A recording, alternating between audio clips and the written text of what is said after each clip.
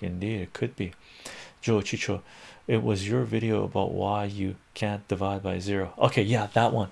Yeah indeed. That was a great that was a really good video actually. I liked it. I i really thought about you know should i make this video why not? And i said it helped me. Um, and it was it, was uh, why we can't divide by zero. Me sitting there with with my goatee with a toucan i believe.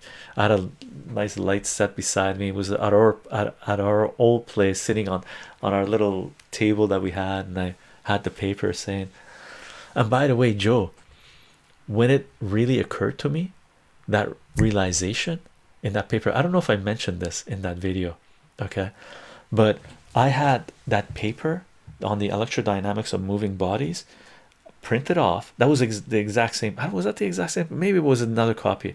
But I printed it off and I gang in the bathroom I have reading material.